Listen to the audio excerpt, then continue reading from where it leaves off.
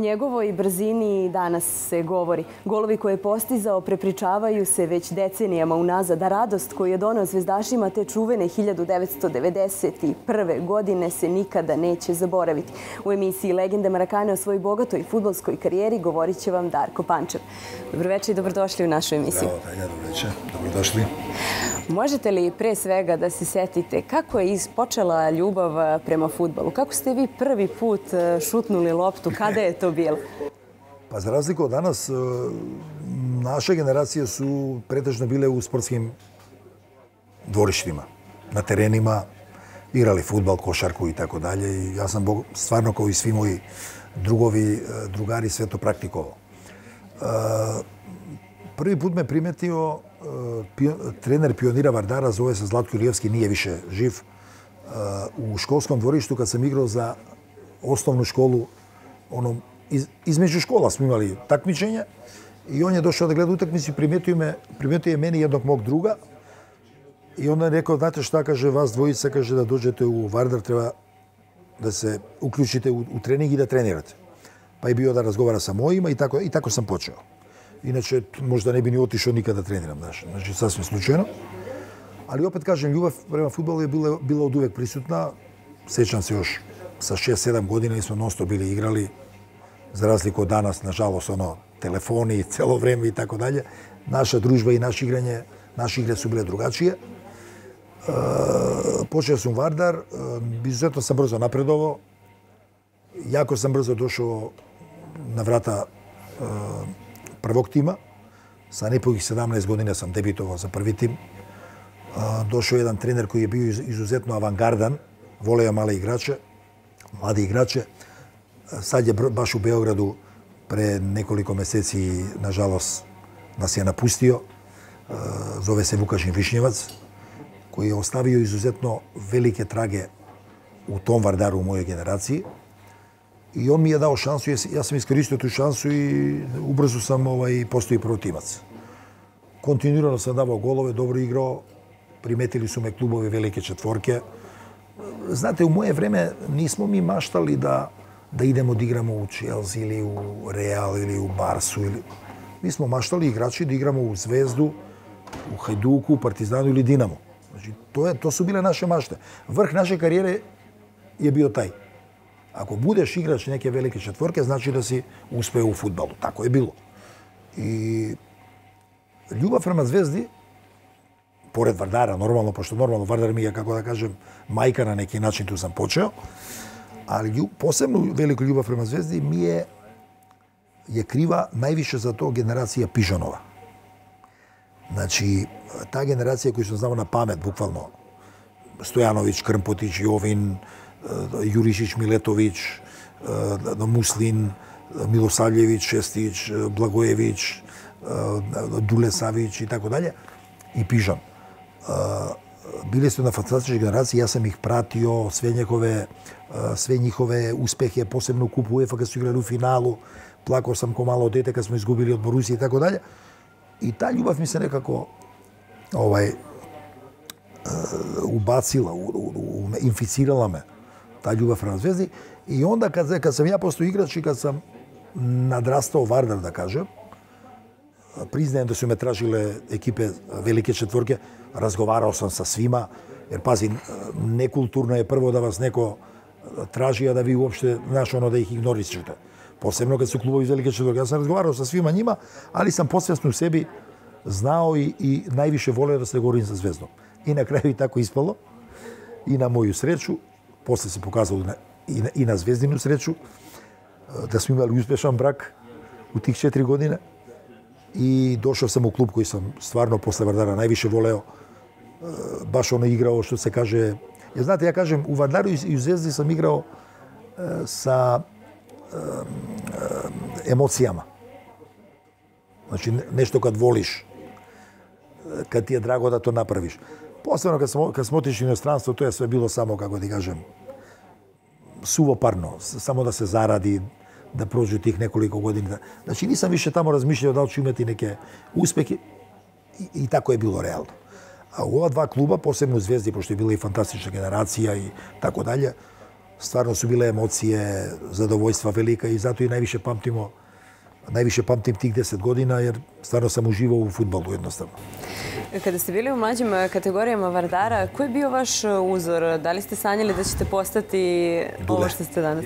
Dule, ja sam to već puno puta izjavljivao. Eh, najviše sam ceneo i voleo dva gol igrača, pošto sam ja bio gol igrač. To su bili Dule Savić i Vahid Halil Hođić, koji je isto bio izvaredan gol igrač. Али ми е долебио из, овај узор, дефинитивно нема дилеме и чак прве години кога сам дошол заедно со, со, сме се били и сликали за насловну темпа, седимо на лоптама и така даје, држимо деветку.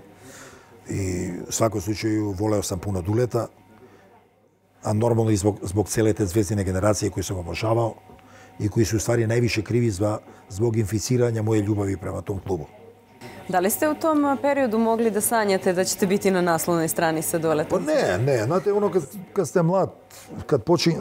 Meni je prva emisija bila u radio televiziji Skoplje, ovaj, zvala se Autogram. Pa ja kao klinac, još manjim djecama tamo nešto kao potpisujem nešto, sećam se kao sada. To mislim da čak ime na YouTube. Ali, znate šta, ne, ne razmišljaš u tom periodu tako. Znaš, u tom periodu razmišljaš samo da igraš što bolje, da napreduješ, da napraviš određene uspehe. Doduše imao sam sreću da, da i u Vardaru imam dobru generaciju. I Vardar je bila jedna dobra generacija. Tih pet godina bili smo prvaci države jedan put. Jedan put smo se plasirali u kupu UEFA. Jedan put smo za malo osvojili kup Jugoslavije. Tako da imali smo korektne uspehe u Vardar. Tako da, ali već, već ovaj, kad sam počeo da igram za reprezentaciju, kad sam postao prvi strelac Jugoslavije, onda sam već normalno i počeo da razmišljam da je to mogu možda nešto i više što je i normalno. No, normalno je da se sanja. E, kako ste se osjećali kada ste čuli da vas traži Crvena zvezda? Naravno, rekli ste nije to bilo veliko iznenađenje, pa- ali opet zvezda nešto posebno. Moram da kažem da su najveći krivci za moj dolazak u zvezdi e, pre svega Dragan Đajić. Pazite, kad, je, kad se Đaja javio, kad me Đaja tražio, ovaj, javio se da me traži, kako da vam kažem, ja sam drhto, drhto od, od treme ipak je to jedna velika legenda i dan danas. I e, veliko je zadovoljstvo bilo što me, što me, samo što me traži. A puno posla je tu uradio i čuveni, bar u to vreme dok smo mi bili radio u Zvezdi, sad više nije, čuveni vojakis. I sa njim sam imao komunikaciju, dolazi u Skoplju, gledali smo se, ono, pošto nas, kad, kad, kad sam igrao za reprezentaciju, pretežno smo se sakupljali u Beogradu. И онда искористимо ту прилику да се видимо да попричамо нешто и тако. така да, подсвесен сам знаел да ќе иќу Звезду, без, без дилеме. Без разлика што пос, после тоа испале приче, Партизан ја покушавао да, да извади неке приче, бла-бла. И јесте, ја признаjem да се разговарал со свима, значи ја не крием, не бежим од тога, али отишов сам у Звезду jer сам хтео да идем у Звезду. Јер су ми и тата и буразе звездаши. Значи, буквално, цела фамилија сме били звездаши. Ranije nije bilo prenosa ти још не си била ни роđен, јас сам био мал, значи Звезда не ја давала ТВ преносе. И многу и навијачи нихо, звездини се љутили због тога. Значи, оно, напуни се Маракана, сечам се те, те генерација кога се играли Купу ЕФА. и сад сви чекају да ќе пустите пренос, нема преноса, и сви се нервирају. Лјуте се и така дале. Така да ми сме слушали радио преносе, ја, мој тата и Буразер стално, оно, посебно те европски утакмици. Koliko su i oni bili ponosni kada su čuli da ćete postati da zvezdi? Bilo, pa bilo, je, bilo im je strašno drago, posebno mom, mom, mom Čaletu koji je igrao malo, možda, imam, možda na njega imam neki mali talenat, nije on bio neki igrač, ali igrao, pošto on iz, iz, iz jednog strumičkog sela, posle kao mlad je ovaj, došao u Skoplju da radi, i on je igrao kao mlad, 18-19 godišnjeg, po tim selima između sebe, nešto da je napravio karijeru, jedno, jednostavno je bio seoski igrač, igra je po selima. Ali je moguće da od toga nešto i ja vučem. Tako da. Da li se možda nekada i pohvalio da je taj uspeh njegova zasluga? Pa ne, ono kad smo se pričali, kad, pa no vidi svakako da je njegova zasluga. Da on nije bio, ne bi ni ja bio, tako da... Znaš kako, roditelji su uvek najzaslužniji za sve što mi napravimo, jer bez njih ne bi ništa napravili. E, kako ste se osjećali kada ste došli prvi put u Crvenu zvezdu? Da li možda i danas pamtite taj trenutak? E, znaš šta, e, nije mi bilo nešto veliki novitet, jer sam već bio nastupo na Marakani sa reprezentacijom, sa Vardarom. Znao sam par igrača koji su mu bili u reprezentaciji kolege, tako da nije mi to bilo nešto novo, ali svakako taj izazov jednog velikog kluba kao što je Zvezda, свакако да е подсвесно у мене тињао, па оно питаше јао само да добро крене, знаеш, то нормално да та трема позитивна постои код свакога. Посебно што сам ја дошол ипак како играч кој е би, важио за добар голгетер и док е бил у Вардару и сад сви се од мене очекивали да ја само наставим или још боле играм у Звезди. Така да E, jeste bila ta trema, ali mislim da je adaptacija bila okej, zato što opet kažem, znao sam dosta njih igrača iz reprezentacije i nije mi bilo zbog toga baš toliko teško. Br brzo sam se uklopio. Ja sam u principu, znaju me svi oni, onako pozitivan tip, šaljivđija, volim da pričam, da se zezam, razgovaramo, tako da jako sam se brzo adaptirao na, na sve to, bez problema. Ko vam je možda i najviše pomogao kada ste tek stigli u zvezu? Sa kim ste možda stvarili tu neku najbližu vezu? Па, види, добра е била атмосфера меѓу, меѓу свима нама. Е сад нормално у едном колективу не могу сви да се друже заедно. Увек е тие групи за по 4, 5, 3, 4, али тоа не значи да се ови други не поштуju или не воле. Него е тоа едноставно нормално. Така да сvi смо били, види, уедно да би се направио добар успех, по мене, тоа е моја нека филозофија, мора у том колективу да постои добра атмосфера, да се меѓусобно поштуju. Ако тоа нема, можеме ми да имамо 10 најбољи играчи на светот, ја ти тврдим да нема шансе да освоиме било што. Значи, мислим да е ова генерација наша била одлична у вези тога. Било велико поштовање. Нема везе што е Радиновиќ десни бек. Али ја поштојам тоа што он истрчи 50 пута овој напред па, да, па да исцентрира. Морам ја тоа да поштојам. Не могу сад за, затоа што ја дајам голове, па ја сад да гледам njega другачије или да го подценјуjem. Е тога не е било узвести. И мислим да и због тога било i dobra atmosfera i dobri rezultati. Bez toga teško može da ima nešto. Vaš dolazak u Crvenu zvezdu ipak je na početku obeležio i odlazak u vojsku. Uf, pa vidi, na kraju se to možda pokazalo i kao dobrim, eh, jer ja i Deo smo zajedno otišli u vojsku. Mm, znaš šta, eh, kako se odvijala cela situacija u zemlji, možda je bilo najbolje da ne idemo i vjerojatno ne bi ni išli posle. Jer su posle počeli problemi, да не кажем ајде полуратови неки и тако даље, тако да веројатно не би ни ишли у војску, али и, види за едnog за едnog спортисту професионалног да изгуби година не е мало. Морам да кажем чисто ово да да знају љубители љубители фудбала Звезде. Кога сам отишол у Интер и до мене се слачио Игор Шалимов, он е русин. Били смо колеги заедно у Интеру.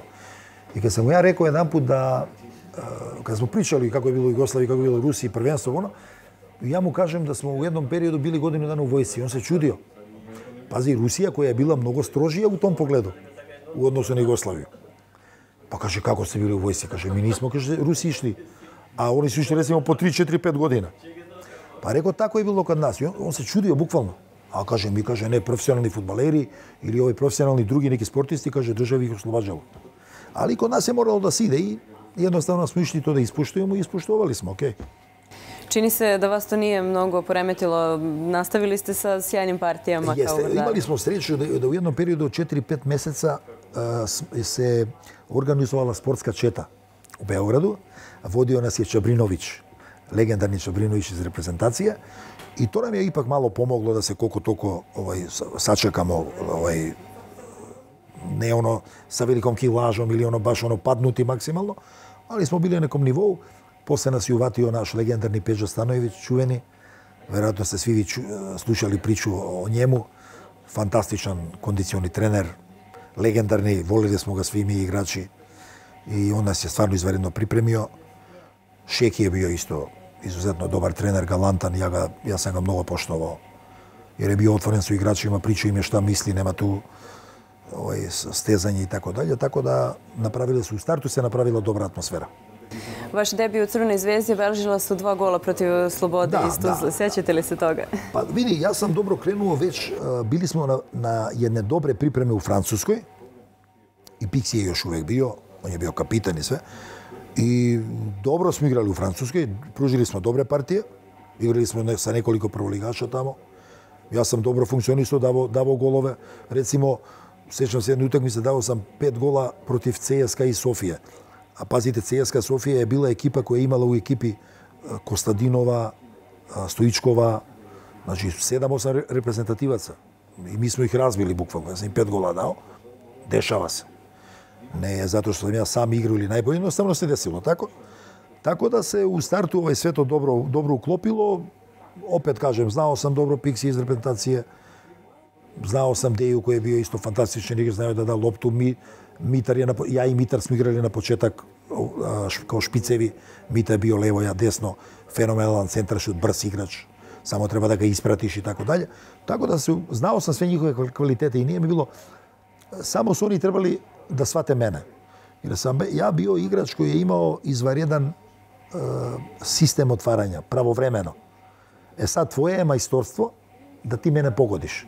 Знаеш, ја ќе се правовремено отворити добро, е сад до, од тебе зависи дали ќе да ме погодиш. Значи, не могу ја све то сам да, извед, да изведам.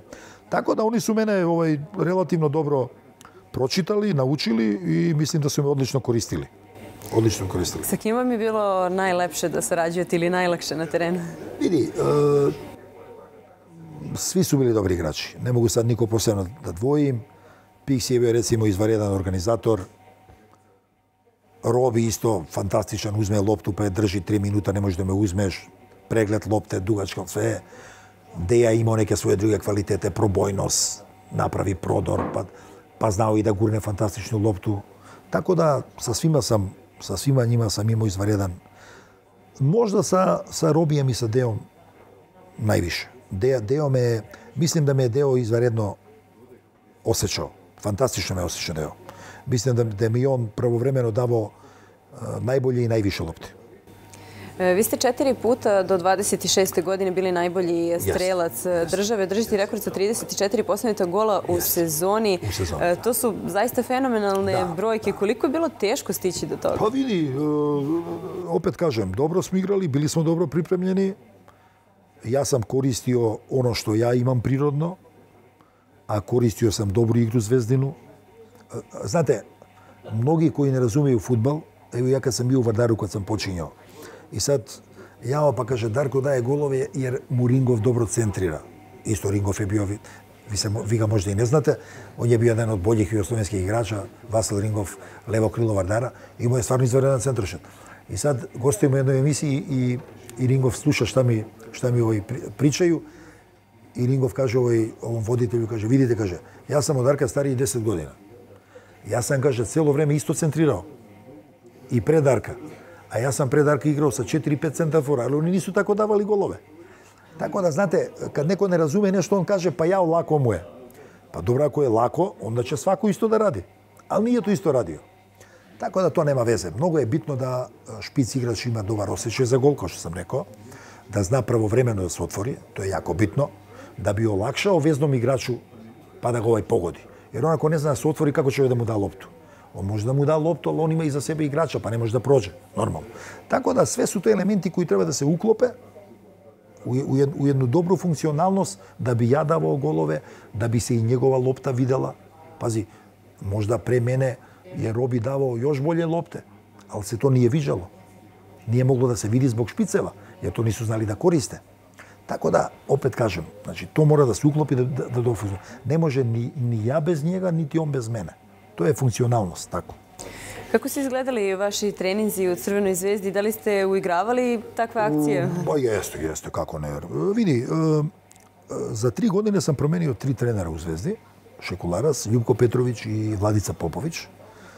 Da, da, čestitam, da čestitam Vladici Popoviću, pošto je juče 8. decembar osvojio svetski kup u Tokio. Ја ga јако, jako volim, јако poštujem. Изузетно добар и човек и тренер све. И hoću да кажем да е Звезда имала едно интересантно е, филозофију. Промениш три тенера, а екипа игра исто. И не само ова три тенера, мислим да и пред тога Звезда играла исто, и пре мог доласка. Јер Звезда увек теж, тежнила ка томе да игра пас фудбал. Пас фудбал sa неком добром акцијом, centrašutom и завршницом. Тоа е била нека тенденција Звездина kao, kao ekipa, kao smisao futbala. I mislim da, da u, to, u tom periodu da smo igrali celo vreme isto bez razlika koji je bio trener. I to je bilo dobro. I to je bilo dobro. Koliko su za postizanje golova bili značajni navijači? Koliko vam je lično značila publika na utakmici? Uh, pa vidite, e, e, ako sad dođe ne znam koji je kapacitet za 50.000 otprilike, tako? 49 trenutno. Eto, 49.000. E, pazite, u naše vreme na tim utakmicama je bilo minimum 80.000 a verovatno ponekad i 90.000 i više. Tako da to je još jače, tuplo jače. Sjećam se samo treće kolo, prva godina ono kad sam došao, igramo protiv Partizana na, na Marakani, 100.000. Ja mislim da je tad, tad Marakana bila najpunija. To je, to je moje neko, moj osjećaj. I teško nam je išlo, Partizan malo zatvoreniji, mučimo se, ne može da mogu, tvrda utakmica. И Владан Лукич да два, два минута, два-три минута пред да гол. И како е дал Владан гол, тако е, значи, тако се уздрмало тло од оздо, значи, кога се скочили оно навијачи, ја мисле био земјотрес од 2-3 степена, сигурно. Така да тој, тај, тај, тај, тај момент ми остao онаку сеќање ден данас. Страшно е било. Колико се за вас вечити дерби били посебна утакмица? Па добро, јесте. Тоа е неки филинг, не само меѓу играчима, него и меѓу навијачима, па оно по кафанама седе пријатели, па роđаци, па се, знаеш, оно, задиркују се и така даја, така да тоа и тад било, верувам да и то данас и пре нас, така да то, то ќе овек остати. То су, то су велики утакмице и свакако да живимо за нив и мислим да смо у тих три години само еден пат изгубили од Партизана. Причам моја генерација. Тој била задња година у купу кога се назобили у финалу 0-1. Pa smo na Jena, na Jena je bio revanš, mi smo vodili 2-1, Miha je dao go, pa ja sam dao go. Vodili smo 2-1 i na 5 minuta pre kraja smo primili go i tako su osvojili pehar. E, vi ste postizali golove i protiv e, Dinama i Hiduka. O tim utakmicama si danas naravno mnogo priča. Kako su oni izgledali iz vaše Google? Pa vidite, e, opet, znači, neću sad ispred ovo neko hvalisanje. Znači, ja sam navikao, ja sam davao golovi u Vardaru. Не знам, овде дојде Динамо Загреб, сечам се го Skoplju, Vardar Динамо 4-0 na dva гола. Па два-три пута дојде Хајдук, победи му 1-0, 2-0, им дам исто голове. Така да, навико сам ја на тоа, ние, ние ми бил проблем. У Звезди ми е веројатно било само мало лакше, затоа што е Звезда било офанзивнија. Вардар ипак е био мало слабiji тим, да кажем, па смо у датим тренуци ми играли мало дефанзивније, па ти онда теше мало напред, треба сам нешто да завршиш и да... да а, тако да, све ми е тоа било ok, navikao sam na to i samo sam odrađivao ono maksimalno dobro kao što treba, ništa više. Kada to tako kažete, zvuči vrlo jednostavno. Znam da, da nije, sigurno nije bilo tada... Nije, nije, ne, vidi, nije jednostavno. Treba imati talenata, treba imati taj osjećaj prirodni za go. go, go se definitivno rađa. Evo, ja sam bio malo u Vardaru sa dve godine, pomagao sam malo svojim, mojim, sa mojim kolegom Babunskim u školi. Значи, znači, sve да da да направиш и i veznog и i играч, али ali Golgetera тешко.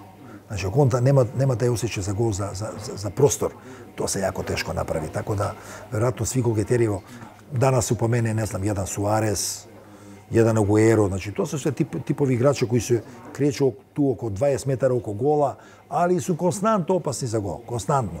Значи не можете главу да подигнете, jer су стално опасни за гол.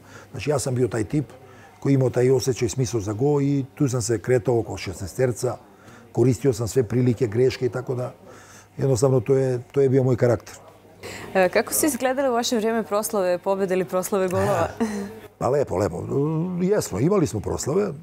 Par puta smo imali u Tašu i ne znam li postoji još uvijek ta diskoteka Taš. Ne postoji više. Mislim da ne. E. U diskoteci Taš smo nekoliko puta pravili baš ono lepe proslave sa devojkama, sa ne znam, prijatelji kluba i tako dalje. Tako da jesmo, a znaš šta, e, bili smo preopterećeni, e, Tanja, preopterećeni. Igrali smo sreda nedelja. E, mislim da sam više spavao u hotel Slaviji, Slavija, u, ali ovaj novi deo. Više sam, više sam tamo spavao te tri godine nego, nego u stanu na banjici da sam bio odseo. Tako da bili smo dosta zauzeti, puno putovanja i jednostavno takav je naš život. To je to. Živimo u avionu i u hotelu. Šta da se radi? A sada ćemo malo govoriti o onom o čemu ste sigurno tokom karijere najviše puta pričali, ali i o onom što zvezdaši najviše vole da čuju. Neverovatna 91. godina, neverovatan zvezdin put u tog e, finala. Evo, voliko godina kasnije, kako to izgleda iz vaše perspektive? Pa, znaš šta, meni je, e, meni je pre svega krivo što je istočni evropski futbol puno pao. Ranije je iz istočne било пуно puno dobrih Е сад више više нема. Сад едина екипа ekipa држи неки ниво со sa zapadnoevropskim тоа е je кој е ето инвестирају пуно, купују добри играчи и така дале. Више нема то. Значи ранија Динамо Букуреш био фантастичен тим, Стеуа фантастичен тим, ЦСКА Софија, Левски Софија исто добре екипе. Из Југославија увек било 4-5 добри екипи, така да руски екипе Спартак Москва, ЦСКА Москва. Видите, у, он, у ону годину кога сме били прваци, 91 година, у полуфиналу Купа шампиона су биле две екипи из Источна Европа, Звезда и Спартак Москва. Знаете кај што тоа понова се деси? Веројатно никад. Не, не у овој констелација, не, не у овој ситуација сега. Така да источноевропски фудбал е био добра протитежа европски фудбал, Западноевропскиот фудбала. Више да не постои, млади играчи одлазе рано, не могу да не могу да задрже своје своје добри играчи, лиге су све слабије И чим су слабе лиге не, не можеш да направиш добар квалитет, не можеш да направиш добар тим. Југословенска лига е била екстра силна лига. Значи веројатно тој и стручњаци причаја меѓу 4-5 најјачи лига во Европа е била. Е сад видите кад ви кад ви играте ваших 10 година најболјих у своју лигу, тада Југославију, нормално е да лига буде јака. Е сад кад сви иду на 20 година, нема добрих играчи. I to je veliki problem za, za ovih ekipa. Ja, ja sam bio jedan od pobornika već 15 godina da se napravi ta regionalna liga. Ja razumem razmišljanje i srpskih, srpskih klubova i, i hrvatskih klubova da mogu da budu problemi zbog situacije koja je bila jel, na, u našem regionu i tako dalje, ali oni moraju da shvate da jedini način da vratimo dobar kvalitet futbola je samo da se napravi regionalna liga. Jer nije isto da Zvezda dođe u Skoplje i igra protiv dobrog Vardara. Treba se namući da pobedi. A recimo ide u ne znam, u, Luž, u, Luž, u Lučani pa pobedi 5-0. Tako da, jaka liga stvara jake igrače. A jaki igrači nose dobar kvalitet i mnogo bolji uspeh. E sad neka razmisle o tome. To je jedan e, dobar savjet. E, mi ćemo se naravno vratiti na tu 91. godinu na početku vašeg evropskog e, puta. Da. Možda je sada lako reći da li ste verovali, ali da li ste tada verovali da će biti ovako kako težak, je bilo? Da, težak početak, Grasshoppers, dobar tim sa Otmardom Hinsfieldom, legendarnim trenerom koji je posle osvojio Ligu šampiona sa Borussijom Dortmund. Da li smo ih malo pocenili, ne znam, ali su, čak su i bolji bili od nas na Marakani. 1-1 završena utakmica. Sećam se, izjednačili smo zadnji minut prvog vremena, ja sam sa desne strane primio loptu pa centrirao Bini, izmenili smo mesta, Bina dao gol I otišli smo u Cirih, ali bili svjesni da, da smo dobar tim. I baš smo razgovarali pred utakmicu, ej momci da ja se ne zezamo, moramo da, da istrčimo i da, i da pobedimo. Nema, znači ima da nas stave na stup srama ako ispadnemo još, još u prvom kolu. Tako da stvarno odigrali smo tu utakmicu fantastično.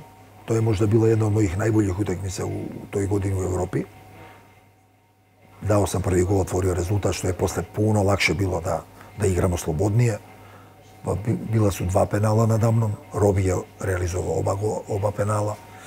Така да сам ја мислам се добио новинама и деветку ку 10 ку од новинана. Стварно се одигра страшна тојкмицу и онда се сватили сви ми да имамо добар тим и нема чиме да се боиме, да треба едноставно каде го идемо да да играмо на победа. После дошол Глазгов Ренджерс кој во том период био многу доминантни од Селтика. Сад ју задњих 10 години овие кои прате фудбал знају дека е Селтик многу доминантни од од Глазгова. У моје време било обрнуто Došao je Glasgow ovde pred punim stadionom, ono, dobili smo ih 3-0, fantastična utakmica bila, dobro igrali. E, dali golove, ja mislim prvi auto go bio, Robi dao i Slobodnjaka, ja sam dao treći otišli u Glasgow sa dobrim rezultatom, nema šta da se bojimo. E, malo, malo smo se uplašili kad, kad se Dika povredio pre kraja prvog polovremena, jer je rezervni golman bio tadašnji treći golman, Kaluđerović, koji nije baš imao неко, неку смиреност, искуство, знаеш, посебно на овакви важни утакмици, ми сад реков, знаеш, он размишляш, не може да направи неки кикс, па се направи фрка, знаеш и така. Али истречено почетком друго време јас сам дал исто изузетно атрактивен гол на главом кога се ме примио по маказицама. Тој био еден од мојих најлепши голова објективно. Дао гол и одма се смирила утакмица, после се нам дали го и прошли смо лако. После дошол Динамо Дрезден кој е био znaš, Dinamo Drezden nije atraktivan kao Bayern München, ali je Dinamo Drezden nemačka ekipa, a Nemac je Nemac. Nemac je Nemac i u istočnoj Nemačkoj i u zapadnoj Nemačkoj. Tako da oni imaju taj mentalitet e, dobar, pozitivan za njih, ali smo stvarno bili dobri, oni su ovde došli, razbili smo ih jednostavno, 3-0 smo ih dobili, posle smo otišli u Drezden opet mirni jer veliki rezultat, ne možeš da izgubiš 3-0. Ali prvi minut primio gol, penal za njih, Šabana udariš, ovaj nađeš loptu ruku slučajno, penal. I znaš, ono, prvi minut primiš gol, kažeš, čekaj, neće, valjda. Ali dobro, nakon dva, tri minuta smo se ovaj, e, smirili i počeli da, da jednostavno igramo našu igru i jako brzo smo prokrenuli sve to. E, došao je Bayern München. Bayern veliki Bayern i dan danas veliki, uvek veliki. Prva utakmica tamo, dobar stadion, širok stadion, lep teren, kao Marakana isto i normalno igrali smo malo pretpazljivije, sad ne možeš ti, ipak je Bayern veliki klub, ne možeš ti da ideš tamo sad da kažeš da će da ih pregaziš.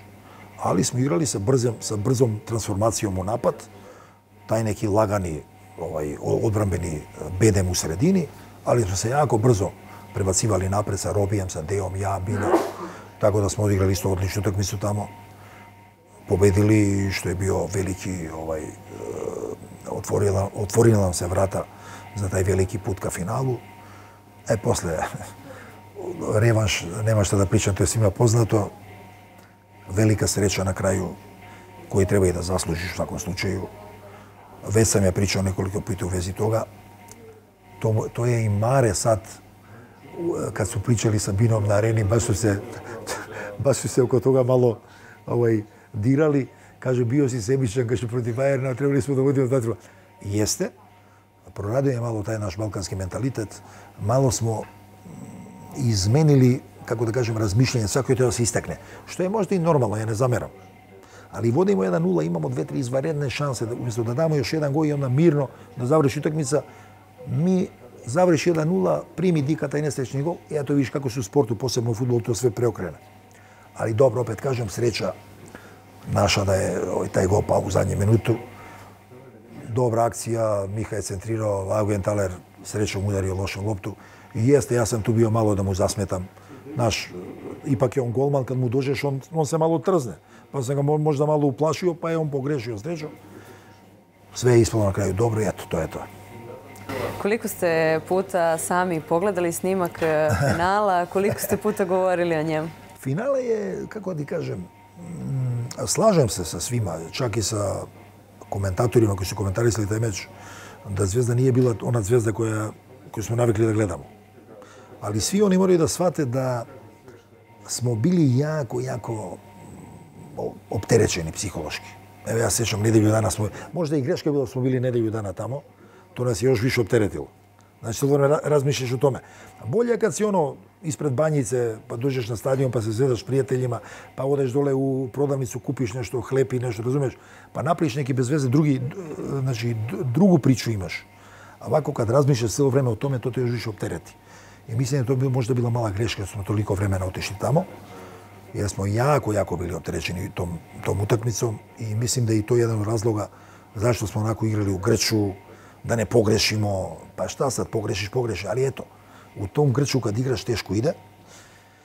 И мислим да апсолутно Звезда не е била таа она препознатлива. Да сме играли две утакмици со Марселјо, кучи и у Марселј, ми би играли пет пута боле, 100%.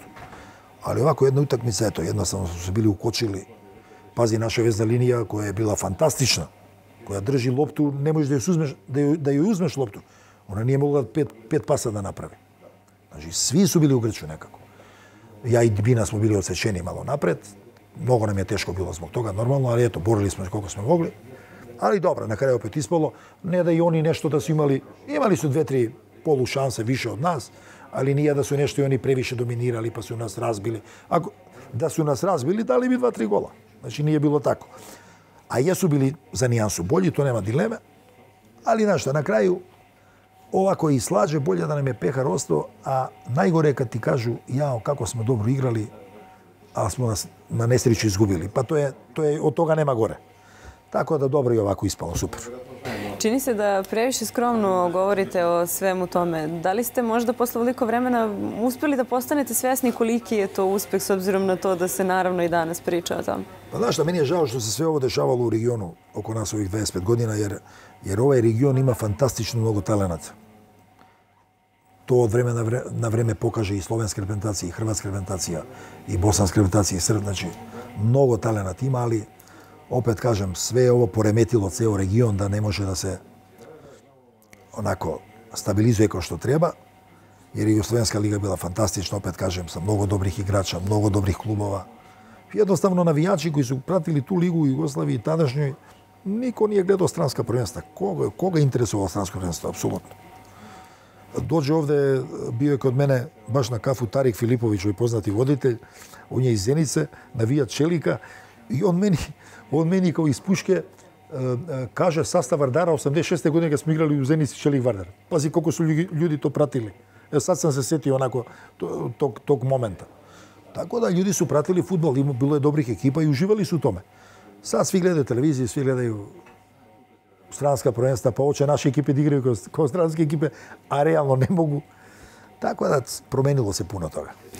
Kada biste pitali navijača, oni bi sigurno upravo taj e, penal iz Bari istakli kao najsvetliji moment vaše karijere. Uh. Šta biste vi rekli? Ko je bio najlepši gol, najvažniji i kad je vama bilo najlepši? Znaš šta, bilo je... E, ja sam ranije ovako pričao Голгетер не сме да двои голове. Голгетеру мора да биде леп гол. И онај кој едва прожелинио, и онај кој уđе у, у рашле, како што кажеме, оно, овај, народно, и онај кој уđе по средини и тако и издалека и изблиза. Не, нема, не сме да двои, jer тоа е у крви голгетера. А свакако да е тај најзначајнiji. Е сад, ми сме имали мало среќа, jer со Југословенско правество тада играло ако заврши утакмица нерешено да се пуцају пенали. I mi smo imali nekako uigrano tih 5-6 nas, sedmoro igrača, koji smo stalno pucali te penali i to nam je bilo nekako uobičajeno. Tako da možda nam i to malo pomoglo, blagodarujući Miljanu Miljaniću pokojnom, koji je ustanovio taj sistem, a bio je dobar sistem, nije bio loš. Tako da jeste, malo nam je bilo lakše da pucamo te penale, da smo nekako to navikli već. Završi nerešeno, mi igramo penale. U Francuskoj to nije bilo. Tako da sad oni neka razmišljaju da uvede to, da uvedu to kod njih. E, vaš e, tadašnji saigrač Zvonko Milović u jednom intervju e, ispričao je kako je to bilo kada ste sleteli u Tokio i otišli na Aha, trening. Da, da, Kaže da je jedan novinar rekao da ekipa koja dođe, izađe iz aviona i jednog trenira mora da pobedi. Kako vi vidite to i danas? E, prvo da pozdravim Zvonka i da, i da mu čestitam za borbu koju, koju daje za onu njegovu, nažalost, nesreću koju mu se desila i samo neka nastavi tako. Иначе, да, Звонко е добро рекао. Имали смо ми наш кондициони тренер кој, кој, кој смо го сви јако волели и поштовали, Пежа Становиќ, Имали смо ту навику да кад негде одемо и баш оно уморни, а он нас одвена на тренинг. Да се мало препотимо, озноимо. Не нису то били јаки тренинзи, али доволно да се мало озноиш. И стварно те тоа едноставно пробуди. Истушираш се, пробудите. Веројатно још горе да идеш да легнеш па да спаваш још 10 сати. Tako da je moguće da, da je to, to, ta, to taj novinar koji je stranski novinar koji je to primetio, verjetno imao pravo što tiče toga. Mi smo tako radili, jeste. Koliko je radosti ta utakmica donela vama igračima? Znamo da je navijači vrlo rado spomenju i dan danas. E, u Tokiju. Vidi, e, igrati protiv južnoameričkih ekipa je uvek teško. Oni su jako, znaju svi futbol, jako su drski, bezobrazni, temperamentni. takvi su južnoamerikanci. Tako da nije bilo lako pobediti, bez razlike što kolo-kolo možda nije na nivou nekih argentinskih ili brazilskih timova, ali pazi, čim su oni te godine bili e, prvaci u Južnoj Americi, znači su bili dobri. Ne mogu da budu slučajno. Uh, jeste bila dobra utakmica, malo nas je poremetio taj crveni karton koji je deo po meni i dan danas, ja mislim da je prestrogo dobio. Ali dobro je da smo poveli pa smo imali već 1-0. Odigrali smo stvarno jedan težak, borbeni, Да, меч, утакмицу после тога, кој био јако захтевен, да се имали играча мање, али ето успели сме да дамо два гола, јас сам учествувал и код, и код другог гола кој е Југа дал, сечам се Радинојче центрирао, јас се бацио на прву лопту код, код голмана, да евентуално дам гол, па се она некако одбила ту до Југе од нас, он ја то пратио, сречом дал гол, онда се ме испратио извреден спринт кој е направио Синиша за трети гол, така да испало е оно наше, кад видиш 3-0 мислиш да е било лако, усвари било изетно тешко. Тешко е било, jer опет кажем они се добри тимови, а имали сме играча мање, така да веројатно е тоа све нека круна свего онога што смо радили и што сме заслужили цело време пред тога. Значи не само не само од Љупка Петровиќ, него и пред тога од Чекија, кад ја стварана там горе-доле нека генерација. Така да, знаеш, тај рад, нормално, Свето Джаја стварал пред тога како спортски директор. Tako da to ne dolazi slučajno, mora se raditi pravilno da bi se došlo eventualno do nekog uspeha. Nedavno je na Marakanu istigao trofej namenjen prvaku sveta. Možemo li vas očekivati u našem muzeju da je to i možete pogledati taj pehar sada izbliza? Znate što ja sam ga držao, svakako da znam kako izgleda, a kad budem došao u Beograd, svakako da će doći na nekoliko dana, jer meni moj dolazak u Beograd ne može da bude samo na jedan dan. Jer imam toliko tamo i prijatelja, uspomena da će mi trebati najmanje nedelju dana da se vidim sa svima. Tako da nadam se da ćemo se ubrzo videti, a do tada ću vas svakako pratiti i slediti. E, vi ste tokom bogate karijere zaista imali eto fenomenalne uspehe. Sa Zvezdom ste osvojili tri nacionalna šampionata, osvojili ste kup, e, interkontinentalni kup, prvak Evrope. E, da li je ostalo nešto što ste želeli, a niste uradili? I dan danas, не знам како ќе ме сватите навијачи, и дан данас ми е као ноќна мора утакмица у Манчестеру за Суперкуп Европа. Тај ми трофеј страшно фали, а фали ми затоа што смо апсолутно заслужиле го освоимо. Значи, тако нас не е хтела лопта. Јас имао две-три прилики. Југа имао прилику, Деја имао едно-две, значи, неколико нас играча, али не е хтела лопта никако душе, неверојатно. А разбили сме их тамо, стварно. Део е одиграл посебно врхунски у средини, баш оно игро чаробњачки. Али ние настела лопта, ја кога се се, веруј ми, пуно пута оно кога легам да спавам, и у сон ми дојде неке она ситуација и само кажам како не само овако одиграо. Усвери сам све направио да да дам гол, али знаеш некад кад нече нече тоа е. Е тоа ми фали. To mi fali. E, osvrnut ćemo se malo na vašu reprezentativnu karijeru. 27 utakmica za reprezentaciju Jugoslavije, 17 golova. Možda neko nezgodno vreme tih 90-ih za jugoslovensku reprezentaciju nije vas prečilo da pokažete svoje golgetarske sposobnosti? Pa da, e, vidi, u jugoslovenskoj reprezentaciji je bilo jako teško uhvatiti mesto standardno. Iz prostog razloga što je bilo puno, puno jako dobrih igrača. I ja razumem, nije bilo ni meni lako. Ono, tek od, tek od 90. godine sam počeo standardnije da igram, kod Osima. Osim je bio jako težak selektor što tiče toga, nije, nije baš bilo lako kod njega uhvatiti mesto. Jednostavno je bio takav.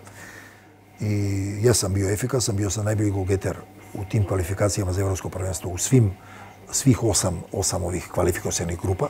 Ja sam imao najviše golova, deset dao. I verujem da je, da je ostala ta reprezentacija. uh, има многу полемика у светот фудбала, не само у региону, него и у, буквално у свету, да би таа репрезентација Југославија со свим тим igračima и талентима, веројатно 94. 6. или 98. osvojila еден велики трофеј. Јас се слажам со sa time, исто мислим, mislim, jer je ta generacija već koja je dolazila, ja, Deo, Pixi, Ilija, Stanojković, koji smo bili malo stariji, 64. 5. 6. godište, i ova čilijanska generacija, koja je isto bila fenomenalna, mislim da taj spoj da bi ta, ta ekipa garant osvojila veliki trofej, ali jednostavno, eto, nije nam to bilo omogućeno. Zemlja je počela jednostavno se raspada, počeli ti ratovi i to je to, desilo se da. Ali ipak možete biti zadovoljni svojim učinkom. Pa jeste, jeste, ali znaš, znate šta, mnogo vam je krivo kad, kad ponekad, ponekad zbog nekih drugih razloga не, не дате неки максимум и не освоите нешто, а, а свесни сте да сте могли. Јас сум убеđен, пазите, ми би можда веќе и 92 година на Европском првенство кој е Данска уместо нас освоила, можда веќе нешто направиле. Ер опет кажам, репрезентација полако сазрела и била е зрела да направи велики успех. Али ето, политика е учинила свој и десило се тоа што се десило, што да се ради. Radi? Glaz trofejima kod vas e, nije nestala ni danas. Možete li da mi kažete i koliko pratite danas Crvenu zvezdu i da li poželite da se vratite na teren e, u ovim danima? Uh, da mogu, ja bi igrao, još sutra bi, bi se ovaj, svuk odigram. E, vidi, pratim izuzetno puno. Pratim zvezdu, preko ovih uh, radio, uh, televizijskih prenosa koji daje Arena. Не знам, не знам како да дефинишем, првенство е тако како што е. Звезда добро функционира, добро гура, осваја трофеје, али опет кажем, веројатно мора да направи још веќи корак за да би освоила нешто више во Европи. Не конкретно да освои трофеј, али да ево да дојде у ситуација да лакше презими него него што се сада рецимо мучиво. Така да али ајде нека ово руководство ради кој што ради, нека тера овако до, добро тера, добро ради. Valjda će i doći taj sad period kad ćemo mnogo lakše e, prezimiti nego, nego što sad mučimo. Eto, to je neki cilj. E, da li danas e, viđate svoje nekadašnje saigrači, da li možda popričate o Crvenoj zvezdi? Sigurno sam da ne nedostaje toga. Čujemo se mnogo češće nego što se viđamo, pošto znaš, svi, svi smo bi bili iz nekog kraja, ne znam, deo iz Titograda, iz Skoplja, ove vamo, ali kad god imamo priliku se vidimo, vidimo se. Баш едео био Црногором овде пред две години, седеле смо, виделе смо. Миле Белодедич ми е два пут дошо из Румунија, пошто он био у Савезу нешто радио, па сме седели он ни или овде, дружили смо. Така да види, оно што сам ти рекол на почетку, имали смо фантастично поштовање меѓу собом и стварно кога год се видимо тоа е од срца. Значи не е оно како ти кажам оно фолирански па као ради реда само е деси де. Стварно се од срца оно обрадуемо, па чак и на телефон кога се испричамо. Стварно нам е драго да се чуемо i to je dobro što je, što je tako, jer je stvarno takva bili atmosfera. Evo, za kraj razgovora, da li možda imate i neku poruku za sve zvezdaše koji gledaju Zvezdinu televiziju? Pa, samo neka nastave da bude klub. Svi oni znaju da je Zvezda jedan od najvećih klubova u Evropi, bez razlike na svu ovu stagnaciju koja se dešava ovih 20 godina, iz objektivnih razloga ali u svetu futbala Zvezda je uvek velika. Ja se sjećam samo jednog momenta Кога сам отишо Интер и легендарни ников играч Джузепе Бергоми, Бепе Бергоми, реко ми е 81 година кога се играли четвртфинали у Купа шампиона Звезда Интер, кога се у Милану завршило 1-1, а у Белграде Белграде Звезда изгубила 0-1, само ми е реко каже да таква атмосферу у своја кариера не е доживео. Така да, да Звездато има има имата имидж, имата имидж велико клуба и, и тоа треба да одржи само да настави. Ако може да побољша, још боље. Eto, to je moja poruka. I pre nego što zaista odjavimo emisiju, moram da vas pitam šta Zvezda znači za vas i koliko je obeležila vaš život? Uf, mnogo, mnogo i dan danas, i dan danas. Ja nikad nisam krio, uvek kažem u x mojim intervjuima da jedina dva kluba koja, koju stvarno od srca volim i poštujem, to su Vardar i Zvezda. I to, to ne, vidi, ja sam mogao da budem i u Real Madrid i u Barcelona, ali ne bi nikad bili ti e, osjećaji i emocije kao što, su, kao što je bilo u Zvezdi со свим тие резултатима. Така да, велики клубови се велики клубови, али љубов е нешто друго.